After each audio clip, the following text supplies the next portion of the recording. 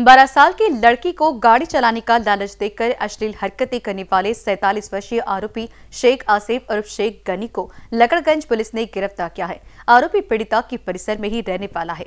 जानकारी मिली है कि बीती रात 12 वर्षीय बच्ची को उसकी माँ ने मोबाइल में रिचार्ज करने दुकान भेजा था। बच्चे रिचार्ज करने गई तब रास्ते से जा रहे आरोपी शेख आसिफ और शेख गनी ने उसे रुकाकर, तेरी माँ को मैं जानता हूँ, कहकर अपनी गाड़ी पर बिठा लिया। कुछ देर ले जाकर बच्चे के मोबाइल में रिचार्ज करा दिया और उसे आइसक्रीम भी दिलाया बाद में उसे गाड़ी सिखाने के बहाने से अश्लील हरकतें करने लगा। लड़की के विरोध करने के बाद भी आरोपी नहीं रुका, जिसके बाद गाड़ी का पेट्रोल खत्म होने पर जब आरोपी गाड़ी को धक्का मार रहा था, तब बच्चे ने परिसर के लोगों को चिल्लाकर बुलाया और आप बीती बताई।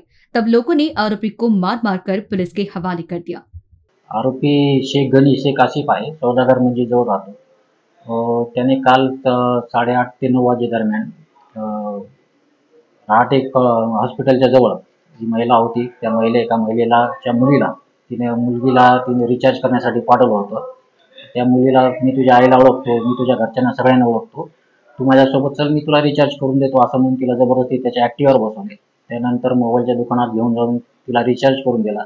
त्यानंतर आईस्क्रीम पण गाव घातला आणि मी तिला मोटरसायकल आपले ॲक्टिवा शिकवतो तू माझ्यासोबत चल म्हणून तिला जबरदस्ती आपले न्यू इयर हॉस्पिटलजवळ तुमचा जागी घेऊन आला. आणि तिला ॲक्टिवा शिकवते असे म्हणून समोर ॲक्टिवावर बसून तिच्यासोबत छेडछाड केली. त्या मुलीने घाबरून आरडाओरडा केल्याने तिथं आजूबाजूला जाणाऱ्या लोकांनी मदतीसाठी तिच्याकडे धावले. त्या मुलीला आणि त्या आरोपीला घेऊन पोलीस स्टेशनला घेऊन आले ते लोकांनी. त्यानंतर त्या घटनेची माहिती आपण त्या फिर्यादी म्हणजे पीडित मुलीच्या आईला सांगितल्याने ती आई पोलीस स्टेशनला आली.